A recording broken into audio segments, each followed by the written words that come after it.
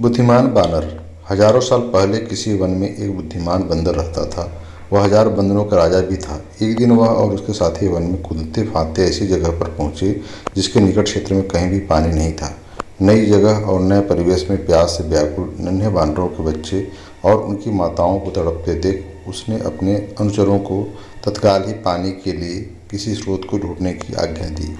कुछ ही समय के बाद उन लोगों ने एक जलाशय ढूंढ निकाला प्यासे बंदरों की जलाशय में कूदकर अपनी प्यास बुझाने की आतुरता को देखकर बानर राज ने उन्हें रुकने की चेतावनी दी, क्योंकि वे उस नए स्थान से अनभिज्ञ था।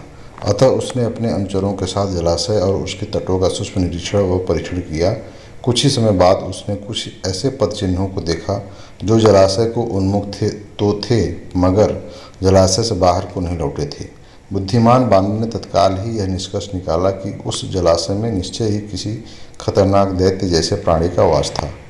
जलाशय में दैत्यवास की सूचना पाकर सारे ही बंदर हताश हो गए।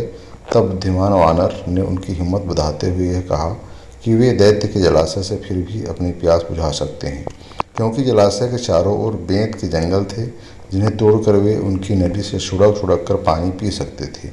सारे बंदरों ने ऐसा ही किया और अपनी प्यास बुझा ली। जलाशय में रहता दैत्य उन्हें देखता रहा, मगर क्योंकि उसकी शक्ति जलाशय तक ही सीमित थी, वह उन बंदरों का कुछ भी नहीं बिगाड़ सका। प्यास बुझाकर सारे बंदर फिर से अपने वन को लौट गए।